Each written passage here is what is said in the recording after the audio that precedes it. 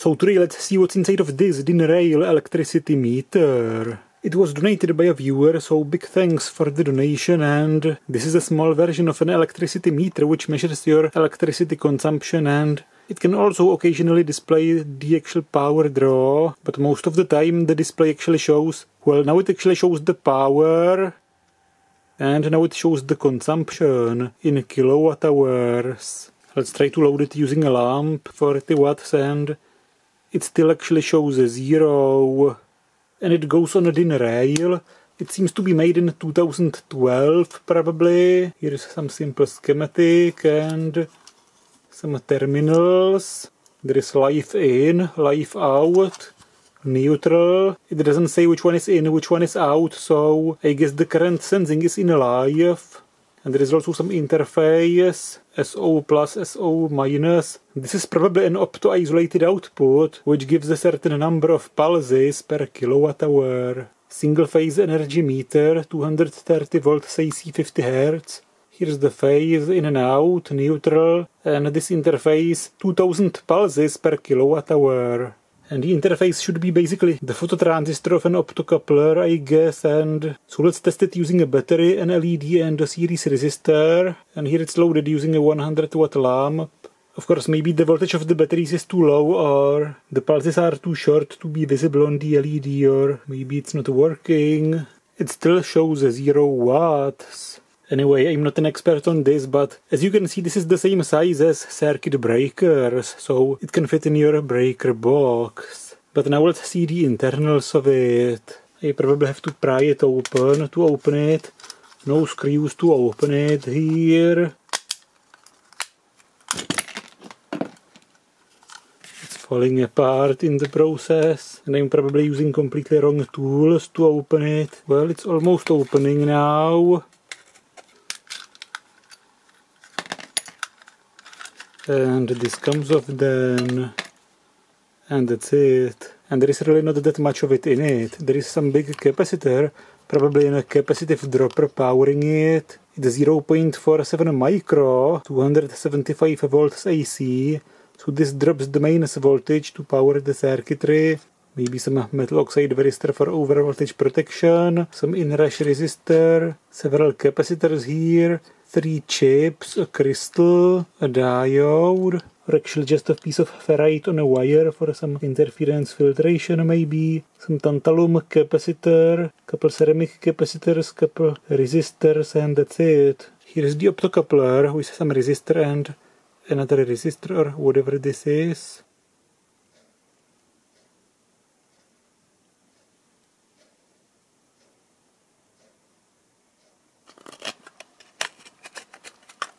It comes out and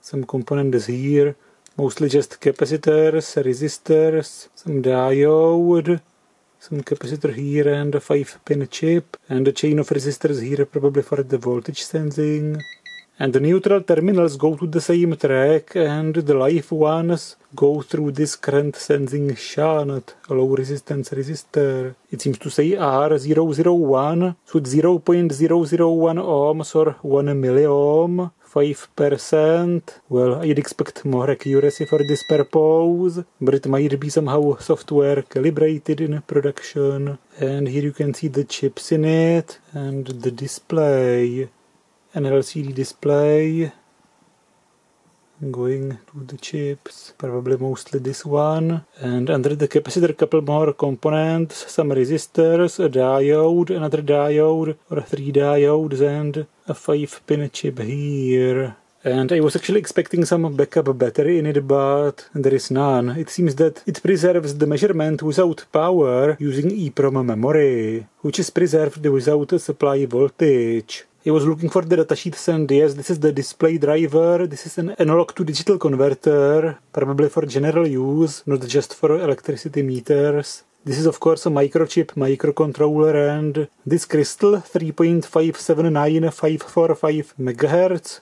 Wasn't this used in televisions for color demodulation? And there seems to be this component in series with the interface. Is it a resistor or a fuse or something? It was reading open circuit using resistance meter, but it actually turns out to be a diode. And here's the capacitive dropper power supply. It rectifies just one half cycle so that the output voltage can have a common terminal with one minus terminal. But it's using just one half of the current of this capacitor. I'm trying to capture some pulses on the interface using this oscilloscope, but I don't see any. Of course, I'm using a battery and a resistor 10 kilo ohms, and the oscilloscope is sensing on the 10 kilo ohm resistor and nothing and the power reading shows a zero. To connect the oscilloscope, I am running it via an isolation transformer to make it safer, not to rely just on the optocoupler. Is it faulty or am I just missing something? Something doesn't seem right here and also the display is a very low contrast.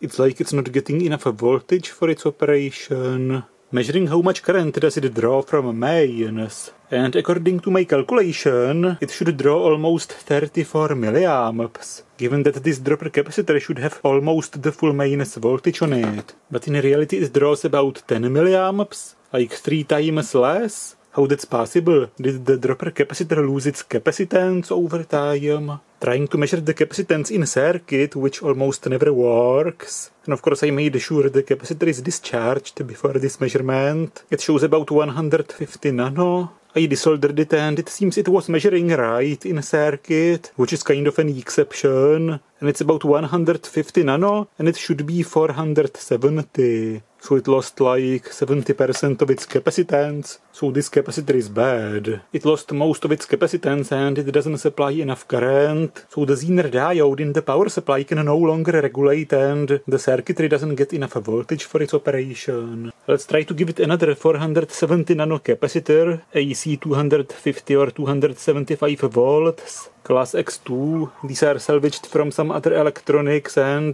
this is actually 240 nano, half of what it should be.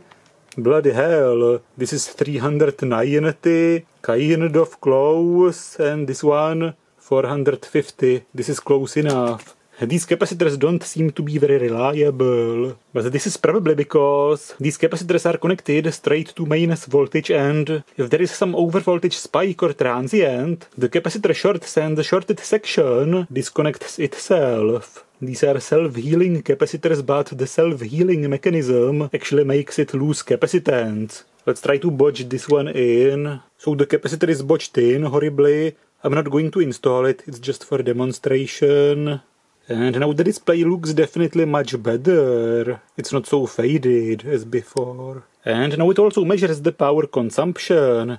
Now it shows 89 watts. And once every so often the LED blinks. It has a series resistor and the battery. And the pulses seem to be a little over 50 milliseconds. Now it reads 93 watts and also the cumulative power consumption advanced it was something 0.58 and now it's something 0.59. 54 milliseconds pulse width. And it doesn't seem to measure the period, but you can see it from the screen. The time base is 2 seconds per division, so it's one pulse every 18 seconds, which correlates to the 96 watt draw, roughly 100 watts.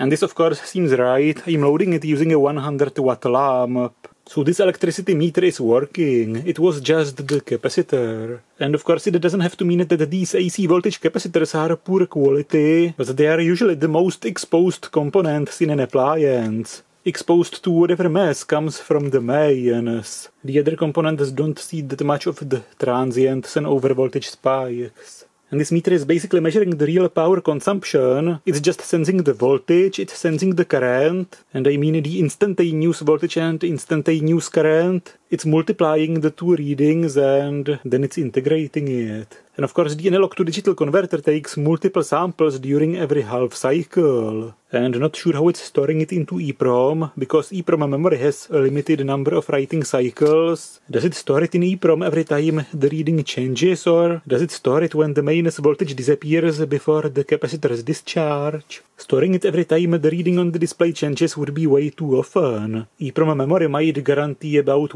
100,000 writing cycles, a 7-digit display has 10 million increments. That's way too many. And of course an update. This UPS didn't seem to me to start with just the battery, no mains, but everybody in the comments was telling me try a long press and it will start on a battery.